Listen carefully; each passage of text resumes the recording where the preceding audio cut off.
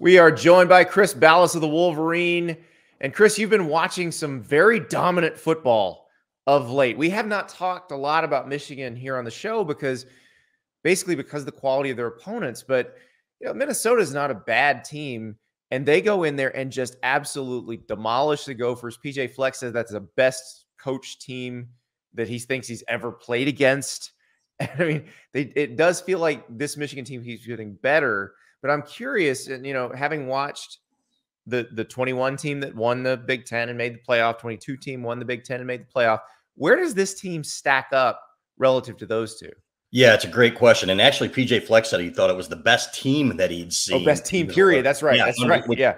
And that caught our attention. You know, he's not really prone to hyperbole when it comes to talking about opponents. But, you know, I would say this team's deeper, Andy. And if you look at them with the star power they have at quarterback and and running back, Donovan Edwards hasn't even found a gear yet. He's not even averaging four yards a carry uh, against the big teams. So um, they still have room to improve. But now you're starting to see on the on the lines. The lines starting to come together, and now that Jim Harbaugh is back, I think they took it personally, Stapes, and, and said that okay, we're going to go on the road against that number one defense in Nebraska that everybody's talking about. We're going to make a statement, which they did. But then to go to Minnesota like they did, uh, Mason Graham, uh, sophomore defensive tackle, absolutely dominated in that game. Minnesota moved the ball, but they make adjustments. They kind of squeeze the life out of you. Like Fleck said, it's like a boa constrictor, and you can see it.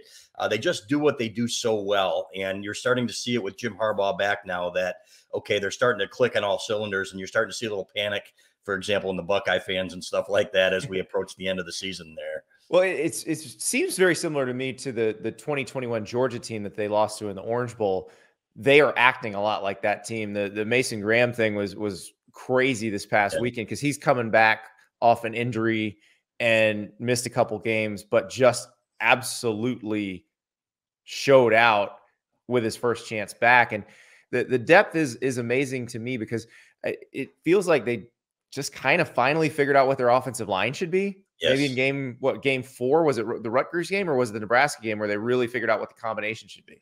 Yeah, it was Nebraska. LaDarius Henderson at left tackle, and he's starting to pass block better, and that was really the key. They needed somebody over there that could that could pass block, and they found him uh, and moved Karsen Barnhart back to right tackle, and really, really seem to have something going there. So, but you know, the difference between Michigan and Georgia in the past has always been the line play, the defensive line. Maybe uh, you saw Georgia's defensive line completely overwhelm Michigan in the in the bowl game a couple of years ago, and you're thinking, okay, that's what we still need to see from Michigan to get to that level. Now you've got guys like Kris Jenkins, you've got guys like Mason Graham, Kenneth Grant that are SEC type defensive linemen that are really doing the job and lead you to believe that Michigan can compete with those teams now. So, you know, they still don't have the the elite receivers, right? If you look mm-hmm. at there's no Marvin Harrison, you've got Roman Wilson who's coming on, but uh, how's he going to do against better defensive backs? Is he going to be able to get off the line? Those are things that still need to be proven. But when you've got an elite tight end like Colston Loveland and you got a quarterback like JJ McCarthy that can keep plays alive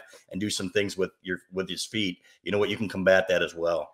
Well, and that's what it feels like. It feels like JJ is sort of the X factor here because in the Harbaugh era, they have not had a quarterback like this, where he he has the arm, the mobility, and I, I kind of wonder is the end of last season where we got to see him really kind of break out because it seemed like they were maybe I don't know if keeping him under wraps was the right way to put it. They just didn't need him. But yeah. now that they know what he can do in these earlier games when they, maybe they still don't need him to do any Superman type stuff, they're just sort of testing out ways that they might be able to use him when the Penn State game comes, when the Ohio State game comes. Yeah, they need him a little more just because teams are, are stacking up against the run against them a little bit better. You know, they aren't going to let Michigan run for 300 or 400 yards on them like they did last year, and maybe Michigan can. And one, one thing Jim Harbaugh said about that, he said, you look around college football and the rushing numbers just aren't where they were. And he said that wasn't normal, what we did the last couple of years. And he's right. You're not seeing teams always breaking off 50, 60 yard runs like we saw from Donovan Edwards and Blake Corum. So now you need JJ McCarthy to keep on that read option a little bit more. And we saw him do that a couple of times. We saw him do it against Nebraska. We saw him do it against Minnesota. He does it just enough to keep teams honest. And now you got another back too in Kalel Mullings, a big back who has really emerged and is getting those tough yards and short yardage situations. But yeah, they're opening it up a little bit more, running a lot more play action, Andy. On first and second down when teams are coming up to the line of scrimmage and putting more responsibility on McCarthy. But for the one game against Bowling Green, which was an anomaly, he's handled it perfectly. And they, they've got Indiana this week. That's a game they should easily win. Michigan State obviously is an important rivalry game, but not what it has been because of, of what Michigan State's dealing with in their own situation. How do they keep them this consistent? Is it is it the competition at practice? You talked about the depth. I'm wondering is is that what is keeping Michigan playing so sharp, even if the opponents aren't really inspiring them? Yeah, because guys want to play, and if they understand if they have a couple bad plays, there's a guy behind them that's going in that's going to be able to play and and take their place. So uh, Jim Harbaugh and, and, people I talked to said they had the best week of week uh, days of practice all fall on Tuesday and Wednesday of last week. So they're still motivated and they they're still really climbing. But you know the schedule's so bad, it really is. This is it feels like the 1970s all over again. We're dominating teams, and they're going to make up for that next year, Andy but uh, but it's hard really to say until they get to Penn State, right? And Michigan State played hard against Iowa. I don't want to just say, hey, right, going to roll in there. At least they showed some life, but that's a game they should win handily. And really, it's a three-game season. You don't know what you're going to get from Maryland, sandwiched in between there. They are capable of some good things, like we saw against Ohio State, but they also implode. But it's really a three-game season to determine uh, what this team is going to be able to do in the postseason. It's crazy, and and the Big Ten it, it, wasn't the ideal time to be announcing the 2024 opponents when they did last week, but they had to do it because they had right. to change the schedule around. And you look at Michigan's schedule, they already had Texas scheduled, but then now you're going to get Oregon, USC, and Washington added into the schedule. So different from this year. It'll be fun. But let's yeah. let's talk about Michigan in the future and and you know in the grand scheme because you you reported last week that a, a Jim Harbaugh contract extension was imminent, not necessarily going to wait till the end of the NCAA stuff. And I'm curious about what that means long term for Michigan. So, how, first of all, how have those discussions been going, and why did, finally get to the point where they're going to do it? Yeah, well, Jim, you know, it's boiling up, and and we've been hearing for for months, you know, hey, where's my contract? I don't like being the fourth highest paid coach in the Big Ten, nor should he, you know. And he started to tell more and more people in his inner circle, and and it gets around a little bit to the point where it, it kind of forced their hand. And you wonder why it took so long, frankly. This is a guy who has been at the pinnacle of, of football in the NFL, in the NCAA, and they can use the NCAA investigation and allegations, you know, to say as an excuse to say, well, we want to see what the result of that. It's not going to make a difference as to whether or not you extend a, his contract. So he should be the highest paid coach in the Big Ten.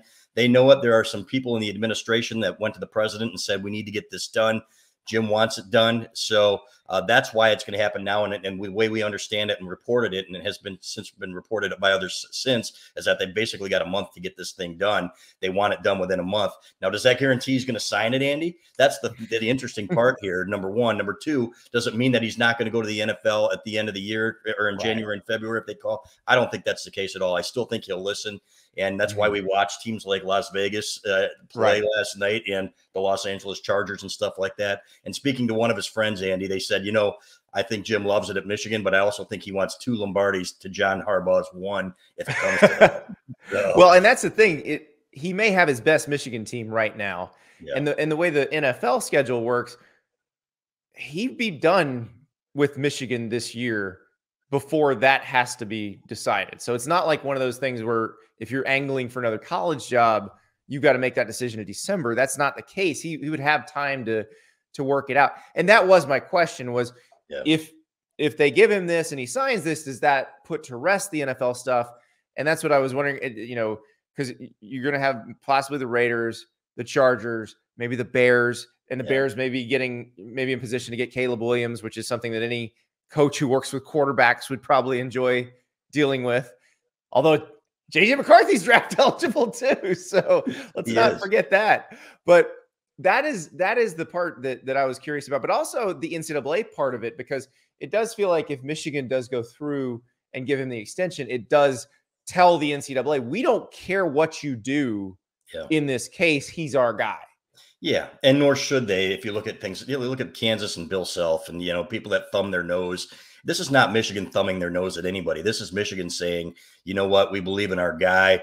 You know, maybe he made some mistakes, and uh, you know, a lot of people think it was overblown. You know, yeah, it was more about more than just about a burger, but it was about you know illegal contact or whatever. But in in the grand scheme and compared to what goes out there on out there in college football, uh, pretty light, frankly. And it was really the the untruthfulness about it that got him in more trouble than the act itself. So allegedly. So, but yeah, uh, he's got uh, relationships with the Bears where he played. Uh, Las Vegas, the Raiders are an organization that he got his first coaching job with.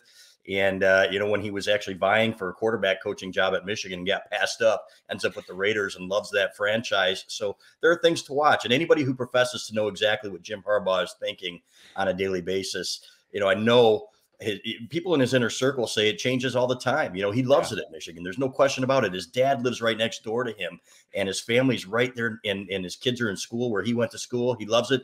But man, there's that itch, and he admitted it. You know, when the with the Minnesota thing a couple of years ago. Hey, if it had worked out, I'd have taken the job. But uh, Michigan was lucky to get him for a couple more years after that. Well, and he is the ultimate wild card. It, he said something on Monday that I, I, found interesting, and I wanted to run by you to get the kind of context of it. Sure. We talked about the contract extension has been a, a three and a half year thing. Is that a reference to to getting his pay cut after the 2020 season? I think so. Absolutely. He was pissed flat out. Uh, anybody can say whatever they want to. He took that hard and uh, you know told people in his inner circle you know man and then you would assume right when you come back and you win back-to-back titles and, and you've got michigan at the pinnacle again that they're going to rectify that and say hey you're our guy. You're the, the best coach in college football one of the best and we want you here forever. And it's been a slower process than many expected especially him. So uh, these guys have egos. They all do. I don't think it's a pejorative to say that. It's what makes them so great and jim harbaugh is no different than anybody else. So i think you nailed it there and, uh, you know, he and AD Warde Manuel don't have a warm, fuzzy relationship.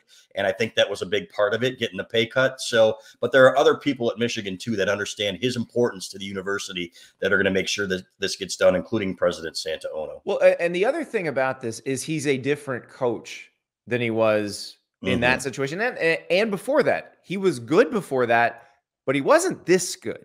Right. What changed? What is it that that changed post pandemic that has allowed them to do this because we talked about the, the depth, the talent.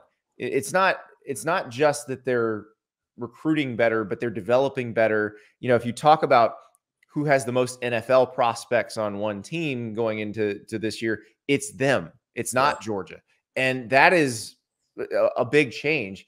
So how did that change? Yeah, it's a great question. And I, you know, I've I was watching Green Bay last night. I was watching Rashan Gary, who never really, he was a five star kid, never mm-hmm. really lived up to that billing as the number one player overall when he was here. And then you look at a three star kid like Mason Graham and just absolutely dominating. Uh, you had guys that uh, I'm not saying they're going to say that they didn't play hard at Michigan, but they really, you know, they kind of you viewed as as a stepping stone. And uh, after 2000, after the after the COVID season, you had a group of kids like Ronnie Bell and those guys that told these guys, hey, if you're not all in, we don't want you here. We need to get back to everybody wanting to win for Michigan. And I don't think that was the case. And and I think Jim Harbaugh too kind of learned, had to learn again how to be a college coach compared to the NFL. He kind of treated it like an NFL franchise, according to some people on the inside. He brought NFL coaches with him, right? Uh, not all these guys were great recruiters. Now you've got Mike Hart there on staff, a former Michigan legend. You've got Ron Bellamy, who played receiver here, Mike Elston on the defensive line,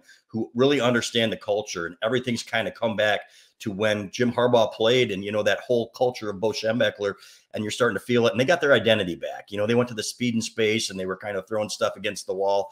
Jim Harbaugh, I think, kind of doubted himself for a little while there when he couldn't beat Ohio State. And it turned out all it took was a really good defense and a couple of great coordinators to change that thing and uh, get them back to where they wanted to be. Yeah, you cover those crossing routes, and all of a sudden everything changes. Right, and, and don't yeah exactly not with a guy who just runs a four seven or four eight forty. You know exactly. So, yeah. So, what do they? I realize it, this is really nitpicking at this point because they've been so good and mm-hmm. so consistent across the board. What can they be better at between now and the Penn State game that would help them go to State College and win that game? Yeah, you know, they still need to run the ball a little bit better, in my opinion. They still have too many inefficient runs, as they call them, zero to three yards. Now they're getting better, and I don't think it's any coincidence that it's getting better with Jim Harbaugh on the sidelines there. But uh, I think they were bored, Andy, in those first few games. Uh, I don't think there's any question about it. Nebraska got their attention, but I would like to see some of those backs uh, make a few more guys miss there and turn those seven yard gains into 40s. Uh, we saw one against the Minnesota, but Donovan Edwards is better than he's shown. Uh, we'd like to see him break loose a little bit. Uh, the receivers still, you know, they're still not getting open a lot. Even against Nebraska, uh, JJ McCarthy had to put some balls on the money. There wasn't a whole lot of separation there. You'd like to see a little bit more of that. But again, the way he extends plays, uh, his receivers now compared to a couple of years ago are, are, keeping plays alive by moving with him. So that's getting better. But they don't have those game breakers. I'd like to see more of that. But other than that, man, they're just bleeding teams to death. And uh, that is one heck of a way to win. You feel helpless, and you could kind of sense it in Minnesota in the second half of that game. We'll see what happens at Penn State. You know, that's a team with better athletes. And, but uh, I, I suspect Michigan's going to go in there with the same formula. Can't wait for that game, man. It's hard to believe we have to wait a month, you know? I know, I know. And that's, that's the strangest thing about this season and the way, you know, this particular Michigan non conference schedule, because they didn't have that marquee game in there, which would have maybe given us a little better idea, maybe given people a lot more to to think about. Now it's like you basically cram the two biggest games into the final three weeks of the season, yeah. and hope that works. Hope everything you know. Hope everybody's healthy. Hope everything works out. But it does seem like they are on track to be the best they've been under Jim Harbaugh when they hit that stretch. Yeah, and given the state of college football now, there's not one team where you look at and say, okay, although Georgia did play better and looked really good against Kentucky, where you're saying, okay, uh, they can't beat these guys or they're going to have a really hard time beating these guys. They could be right there with anybody. So this is about as good an opportunity as you're going to have right? Uh, considering what they might lose next year. We know they mm-hmm. lose Blake Corum, JJ McCarthy. Uh, still talk that he might want to come back for a senior year, believe it or not. But hey, uh, NIL, Caleb Williams might come back too. Yeah, exactly. He was talking about playing for Jim Harbaugh. Yeah, and Harbaugh, by the way, did talk about Caleb Williams yesterday at his press conference. That was fascinating too. So, conspiracy theorists unite. Oh, you know? it's well. Listen, Jim Harbaugh's a smart guy. He knows what he's doing. Yes, he does. Come on, he's light, lighting the fuse there. He, so. he was fantastic. But um, yeah, so you know what? We'll get down there and, and that's when we'll find out. And what'll be fascinating is if these three teams beat each other and then it comes down to a tiebreaker about how their West opponents played. So now you got to root for Minnesota if you're Michigan. You got to root for oh. Nebraska. So you're in there watching Nebraska and Illinois on Friday night and, you know, saying go, go Huskers, got the corn on your head and everything else. Wouldn't that be the Crazy. ultimate way to kill off the Big Ten West? Right. Where – that Iowa team that is just god awful. Yeah. But if they beat Wisconsin, they probably will win the Big Ten West. Yeah. Yeah. Might be what lifts Penn State to exactly. Yeah. imagine? crazy. But you know what? I'm, I'm glad those days are gone. And for anybody who doesn't like expansion, just look at this year and then look at I remember the feeling when Florida State would come to the big house and Miami of Florida. And yeah. and it was such a great way to start the year. Beats the crap out of playing UNLV with all due respect to the running rebels. Yeah. You know, I, I know they don't fondly recall the last time Oregon went to the big house, oh, but yeah. I am much more excited about next year's matchup than, than, I am about about that one back then. So absolutely, and it's better. You know what? They get most of them at home, with the exception of Washington. Can't wait to go out there. That's a great road trip, isn't it? Oh yeah, I mean it's yeah. well, maybe the most beautiful setting in college football, right? Right, right there on Lake Washington, and, yep. and we're we're going to see it this weekend when Washington plays Oregon. It'll be the the featured game of the weekend. Meanwhile, big noon Saturday is Indiana Michigan. Uh, that's Woo! the whole country getting that one and and going boy, this yeah. this first quarter was very interesting, but I'm going to tune to something else. I think exactly. 34 and a half point favorite, and it's supposed, but it's supposed to be 50 and rain. So, you know, who knows? In a conference game. That's wild. Yeah. Yeah. I, I don't know that I'd pick Michigan to cover in that weather, but it is, it is truly amazing to see how different they are. It was hard about bringing that up, that three and a half year thing that made me think back to, to everything that, that they've dealt with since the pandemic. Like, yeah. if we'd have told you during that pandemic season that in 2023 they will look like the best team in college football, what would you have said? No way. I, I thought, you know what, this, this thing is reeling. Uh, in fact, when after they got hammered by Wisconsin at home, I had coaches, former coaches, texting me saying this is a broken culture. They're not going to be able to fix this, and I was right there. But then he made some great hires, and these kids, to their credit, turned it around. And I do think that the the salary cut really lit a fire under him, Andy. I do, mm-hmm. and I think you know, for as as mad as that made him, I think it made him a better coach and got him refocused again. So, but I never would have believed it. And uh, but to their credit, they've done a great job identifying recruits and developing that talent. They've got an unbelievable strength coach in Ben Herbert who has helped put it all together, and an amazing coaching staff. Jesse Minter is going to be probably an NFL coordinator next year somewhere. Mm-hmm. Andy, I mean, he was interviewed by the Eagles and uh, Mike Macdonald's with the Ravens. So, uh, but they've got it working. And if you're a Michigan fan, you say to the administration, do whatever you can to keep this thing together because that's Michigan's hope going forward here in this NIL era is to keep Jim Harbaugh here for another 10 years and keep it rolling. Well, he got his pay cut. Now he's going to have the option to have about as much money as he wants. Yep. We'll see if he signs it. Yeah, we will. and that's, that's what I love about him. He is the ultimate wild card. Chris yeah. Balas, thank you so much. Anytime, Andy. Thanks for having me, brother. Thank you so much for watching. Just a reminder subscribe to this channel right here so you never miss an episode of Andy Staples on 3.